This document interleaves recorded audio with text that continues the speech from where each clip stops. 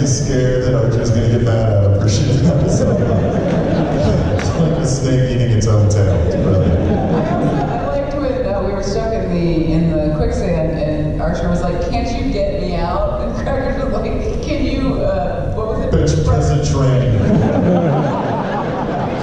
Only half magical. I don't have lifting abilities, only talking abilities.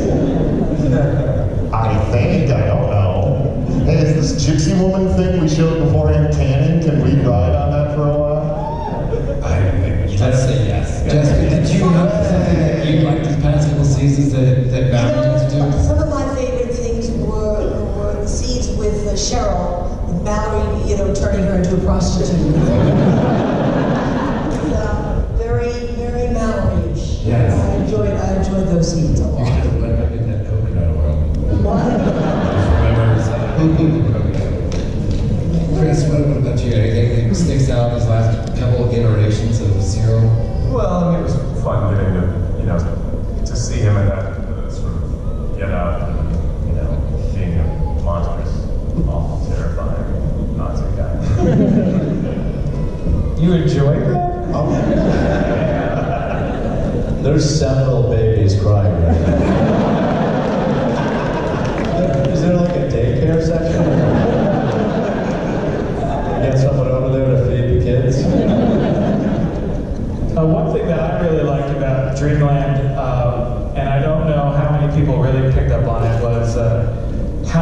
Dogs everybody ate. it was just the go-to food in the 30s.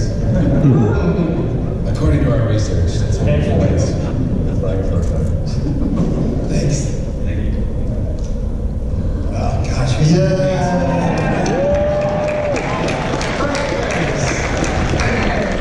Uh, first, I just want to say my name is actually Pam, and I love looking at I kind of treat like seeing myself come to life on screen, so thank you for that. Uh, next thing I want to say is that I think we can all agree we can never have too much Archer. There's never enough Archer.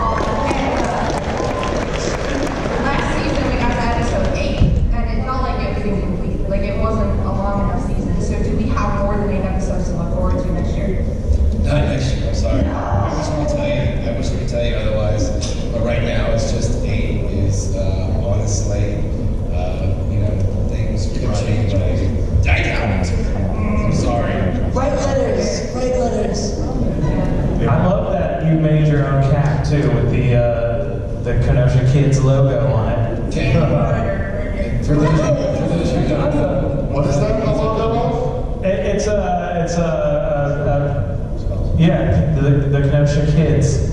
It was a uh, Wisconsin, I assume minor league baseball team that Pam was a fan of.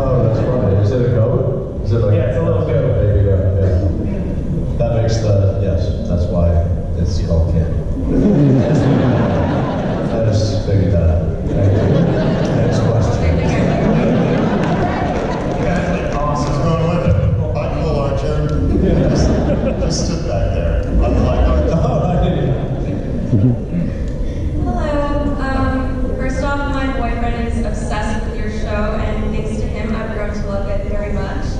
Um, this question is for Jon. What do you like and dislike about working on multiple shows at once? Uh, did you say working on bullshit shows?